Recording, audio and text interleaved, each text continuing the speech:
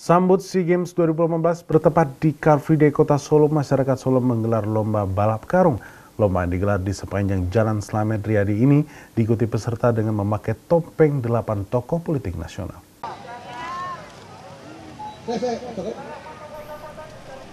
Bertempat di sepanjang Jalan Slamet Riyadi Kota Solo untuk menyambut Asian Games 2018 yang akan digelar di Jakarta dan Palembang, masyarakat Kota Solo menggelar lomba balap karung. Namun jangan salah, akan diikuti 8 tokoh nasional. Masyarakat kota Solo membuat topeng 8 tokoh nasional yang di mana akan dipakai untuk digunakan lomba balap karung.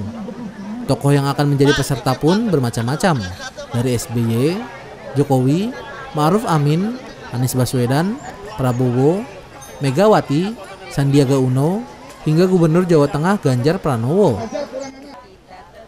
Diangkatnya ke delapan tokoh ini dikarenakan kedelapan tokoh tersebut menjadi topik hangat di pemberitaan media di Indonesia. Lomba balap karung ini menjadi daya tarik bagi masyarakat yang sedang berjalan maupun olahraga di Car Free Day.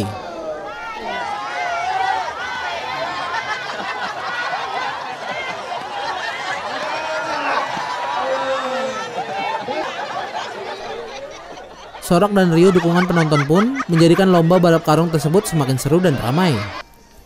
Mas Agung Ramantio memberitakan dari Solo, Jawa Tengah.